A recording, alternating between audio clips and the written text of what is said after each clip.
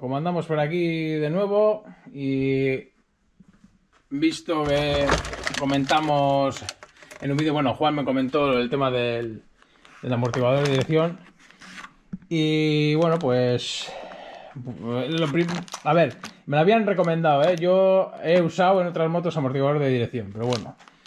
Eh, con, lo, que quiero decir que, eh, vamos, soy partidario de usarlo, pero si no hace falta, bueno, pues sí, para que veáis. Y bueno, llamadme loco eh, o cutre, como lo queréis decir, bueno, cutre o pobre, lo que, lo que queráis. Pero bueno, quería probar algo así de simple. Y, y, sí, es un amortiguador chinorro. Pero bueno, eh, la verdad es que tiene un acabado que, bueno, que no está mal. Ahora, no sé lo que durará, ni que eh, si reventará el de dos días o, lo que sea.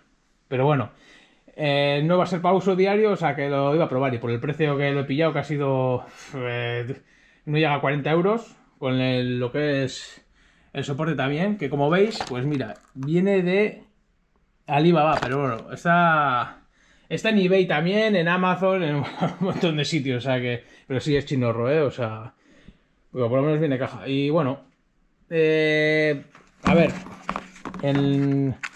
he llevado, por ejemplo, en la ZX6 que llevaba un, un sprint, pues de apariencia no tiene nada que envidiar. Bueno, sí tiene que envidiar porque la calidad se nota. Pero bueno, era, el otro era un amortiguador inglés.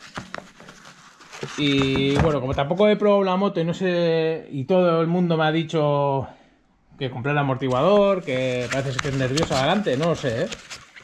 Eh, sin embargo, en la CBR eh, no llevaba y, y bueno, pues estaba encantado con esa dirección, y, pero es por la suavidad del motor este. Como no, ya digo, no he probado, pues es, lo que tocaba es probar algo cutre. No son los 300 euros o 400 de un Oblis, pero.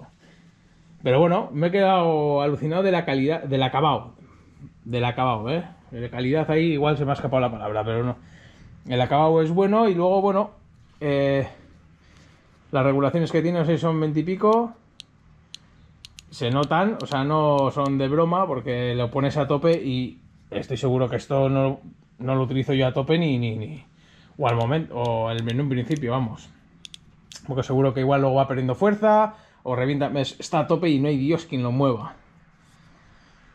Eh, perderá fuerza o reventará, reventará los retenes, vamos, ya sabemos todo lo que son estas cosas eh, chinorras, pero bueno, que lo dicho, que yo soy de los que primero pruebo y luego, luego hablo, porque hablar sin saber, eh, sin pensar que es una que son una mierda o lo que sea, bueno, sí, es una cosa china, pero muchas cosas se hacen en China y da buen resultado. De hecho, tengo puesto todavía los purgadores en la KTM, que sí que es una moto de calle, y van, van de cine, me costaron tres veces menos que los KTM originales. Y van bien, o sea que, y los he recomendado porque eh, por lo menos a mí me han ido bien, no, no se han roto y los uso cada vez que salgo y vuelvo, hago la, Vamos, purgo lo que es la, horquilla de aire. Y ya veis que el acabo que tiene, no sé lo que aguantará, igual se empieza a rajar, ya digo, ¿eh? No lo he probado y sé que es cutre, sé que es cutre, pero... ¿Qué, qué, os que diga? Eh, tengo que probar, es una moto que la voy a utilizar para circuito y por 40 euros lo pruebo y sé de qué hablo. Con lo cual, mm, ¿qué decir? Por lo menos viene en cajita y...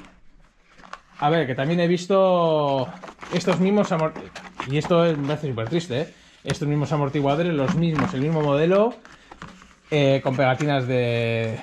Pues eh, haciendo una marca.